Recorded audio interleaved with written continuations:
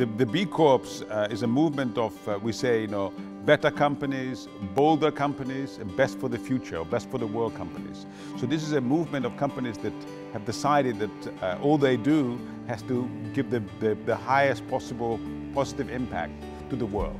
Some are working in clean energy, some are working in sustainable food, some are working in uh, sustainable buildings, others are working in uh, medical technologies, uh, etc. So there are nearly 130 industries represented. Everyone contributes in a different way, but the, the, the certification process measures with a score actually how much you contribute.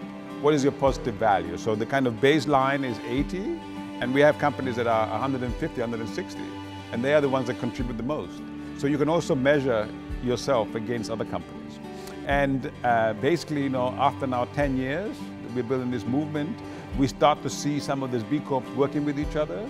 So we have a, a, a, initiative in California with Patagonia.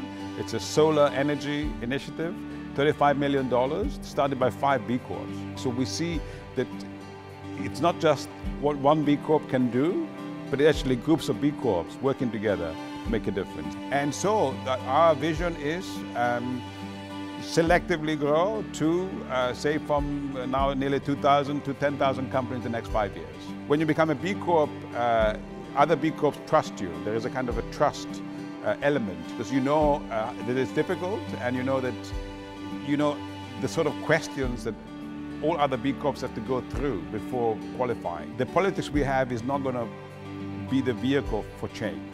So the call to action is, hey, here there is a new possibility that didn't exist, you know, until a few years ago, to actually get on and affect change to the B Corp.